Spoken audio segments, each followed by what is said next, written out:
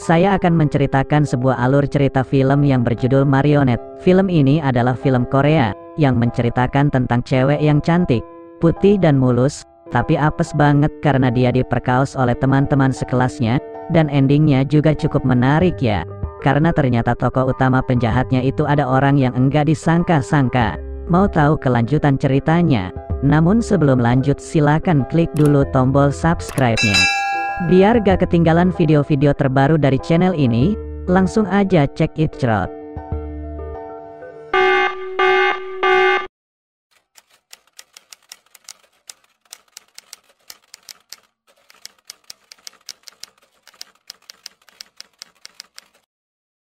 Film ini dimulai dengan seorang cewek SMA yang aduhai, yang bernama Yumina. Dia ini adalah seorang gadis yang baik hati, periang dan rajin menabung, Suatu ketika, Mina ini pergi kencan dengan cowoknya yang bernama Kim Jin Ho. Dan film pun dimulai.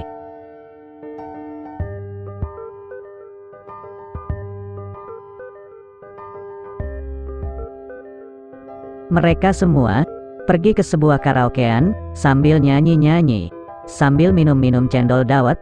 Kemudian mereka pulang ke rumah Jin Ho. Karena Mina ini terlalu banyak minum cendol dawet, jadi akhirnya si Mina Abok tak berdaya. Kemudian Jin Ho memberikan sebuah botol kerating daeng. Dan bilang itu untuk menghilangkan rasa aboknya. Tapi dia berbohong, kerating deng itu tadi. Ternyata isinya adalah obat tidur.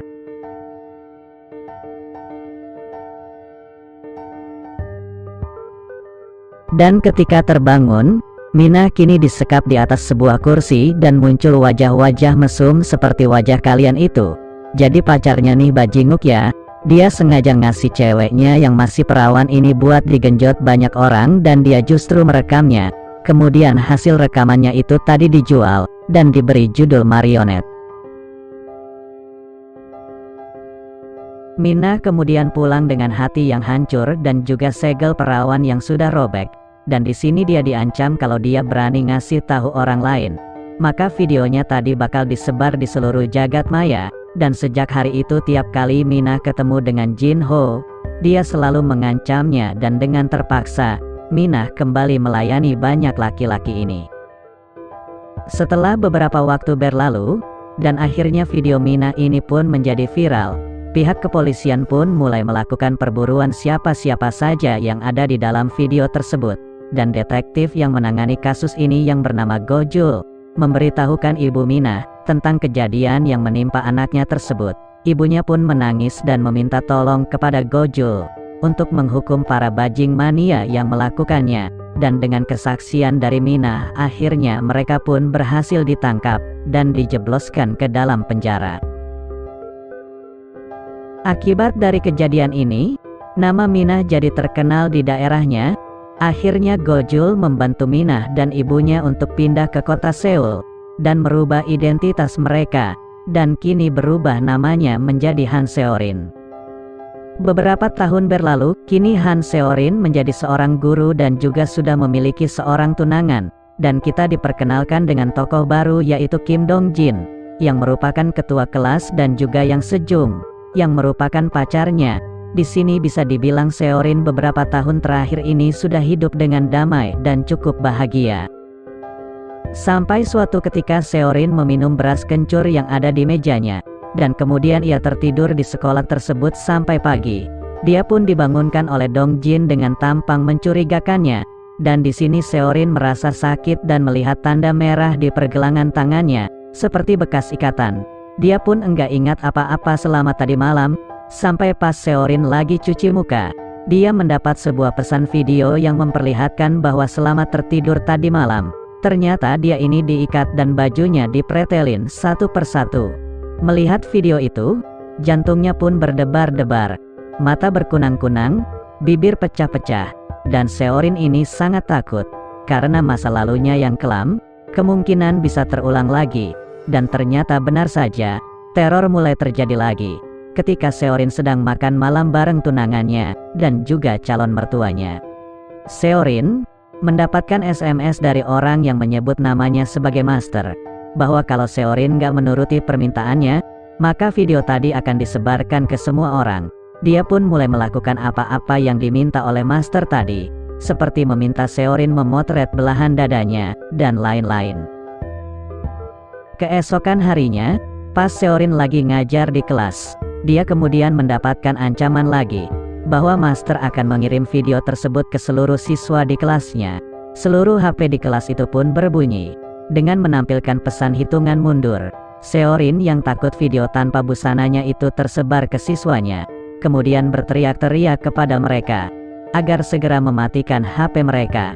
Tapi sayangnya semua sudah terlambat. Seorin pun terjatuh lemas ketika hitungan mundur sudah berakhir. Seketika itu juga, seluruh kelas menjadi hening. Tapi ternyata tatapan semua siswa bukan tertuju kepada Seorin, melainkan kepada Sejung. Karena ternyata video dan foto yang dikirim adalah foto Sejung. Jadinya Sejung juga merupakan korban dari Master. Sejung pun langsung berlari keluar dari kelas karena malu. Dari sini, Seorin merasa semua ini sudah keterlaluan ya. Dia pun kemudian meminta tolong kepada Gojul, yang sekarang sudah pensiun jadi polisi, untuk membantu menyelidiki. Siapa sih sebenarnya orang yang bernama Master tersebut? Dia pun memulainya dengan menanyakan kronologi bagaimana Sejung bisa terjebak dengan Master. Sejung mengatakan bahwa ia waktu itu tengah melakukan pengencrotan dengan pacarnya, yaitu Dong Jin, tapi dia nggak tahu kalau kegiatan itu direkam oleh Dong Jin, sampai dia kemudian nggak sengaja membuka komputer milik Dong Jin, dan isinya itu ternyata video enak-enak semua.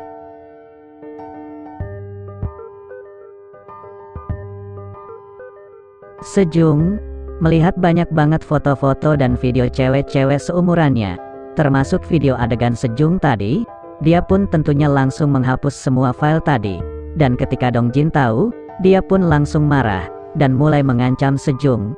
Dari pernyataan Sejung barusan, tentu saja Dong Jin, kemungkinan besar menjadi kandidat tersangka sebagai orang yang menyebut dirinya master.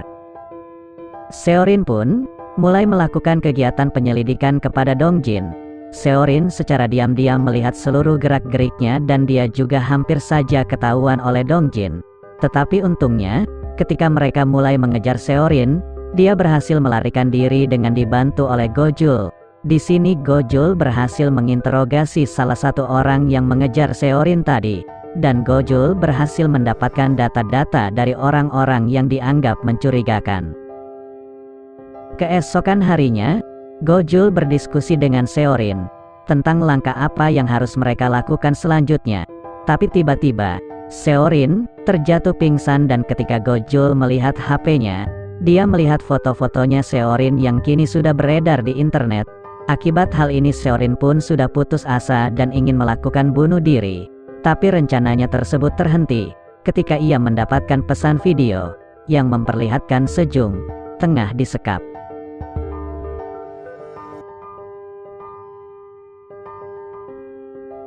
Dan Master mengatakan, jika ia tidak menuruti perintahnya, maka akan terjadi hal buruk kepada Sejung. Seorin kemudian menghubungi Gojul untuk segera menyusulnya ke tempat yang dikasih tahu oleh Master. Sedangkan Seorin berangkat lebih dulu ke tempat tersebut. Di sana Seorin kembali dihadapkan ke sebuah botol kerating daeng dengan tulisan instruksi cara konsumsinya. Seorin pun langsung meminumnya, dan ketika terbangun, dia sekali lagi sudah dalam keadaan terikat di atas kursi, dan di depannya sudah ada segerombolan cowok-cowok bertopeng. Tapi meski menggunakan topeng, Seorin ini masih bisa mengenali salah satunya yaitu Dong Jin. Seorin pun langsung meminta agar mereka membebaskan Sejung, karena dia sudah menuruti semua perintah master. Namun Seorin menemukan fakta yang mengejutkan. Ternyata, Sejung tadi bukanlah korban melainkan pimpinan dari gerombolan ini, dan Dong Jin yang selama ini kita anggap sebagai ketuanya. Ternyata dia ini justru dimanfaatkan oleh Sejung. Jadi, semua yang diceritakan oleh Sejung tadi adalah bohong, dan justru faktanya adalah kebalikannya. Jadi, apakah Sejung ini yang bernama Master Aids ternyata bukan? Di sini sosok Master itu masih belum ketemu ya. Dan gerombolan ini cuma mengikuti perintah Master karena mereka mendapatkan bayaran yang tinggi. Ketika mereka sudah mau mulai merekam dan memperetelin baju Seorin, Pas banget muncul Gojul di belakang mereka, dan dengan semangat 45, Gojul langsung menghajar gerombolan tadi, tapi kalah. Dia pun justru ditelanjangin dan juga diikat. Namun ternyata Gojul tadi, sebelum berangkat ke sini, dia sudah menghubungi teman-temannya di kepolisian untuk membantunya. Mendengar suara serina polisi, gerombolan tadi langsung kocar kacir dan akhirnya mereka berhasil ditangkap. Dan di sini polisi mengambil HP milik Sejung, dan akhirnya mereka mendapatkan nomor asli dari orang yang disebut sebagai master. Mereka pun langsung melakukan pelacakan ke nomor tersebut, yang menuntun mereka ke sebuah rumah, dan ternyata orang yang menyebut dirinya sebagai master, adalah seekor bocil. Jadi, sebenarnya master yang asli itu adalah ayah dari bocil ini. Namun ayahnya itu sudah ketangkap polisi satu bulan yang lalu dengan kasus yang berbeda. Nah, anak ini nggak sengaja nemu HP milik ayahnya dan mengetahui username dan password admin dari web milik ayahnya. Dan semenjak saat itu, bocil inilah yang menggantikan peran ayahnya sebagai master. Seorin yang tadi sudah bersiap untuk mengajar orang yang bernama Master. Kalau sampai ketemu ya, akhirnya justru nggak jadi marah, karena pelakunya adalah bocil ingusan. Bocil ini pun ditangkap, tapi tidak dipenjara, karena kan masih di bawah umur. Dia ditetapkan sebagai tersangka dan kemudian direhabilitasi. Dan sekarang akhirnya kehidupan Seorin bisa kembali menjadi normal dan film pun berakhir.